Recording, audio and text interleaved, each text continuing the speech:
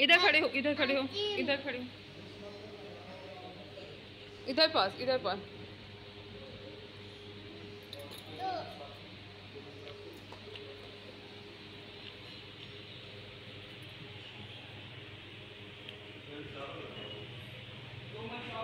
वो जो सबको खुश रखता है, मुझे उसको हंसाना है। देने हैं तोहफे, करनी है बातें, और फिर बीच बातों के उसको गले लगाना है।